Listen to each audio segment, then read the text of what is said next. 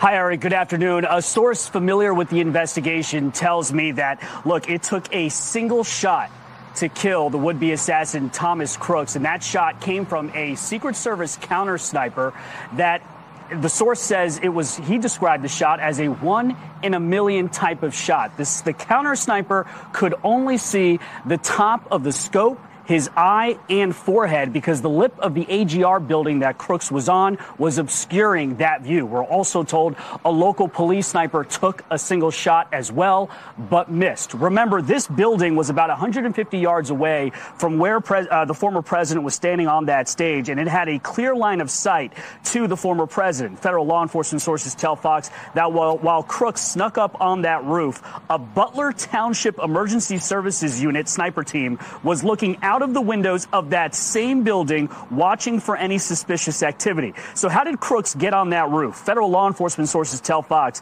that it was initially thought he brought a ladder. However, no ladder was found on site, and we're now told the more likely scenario is that Crooks hid his father's AR-15 near an AC unit and then he climbed onto that AC unit to get up onto the roof of the AGR building. This, as the Wall Street Journal is now reporting, the shooter was able to fly a drone above the rally site earlier that day. The predetermined flight path, the journal reports, indicates that he flew the drone more than once to scope out the site.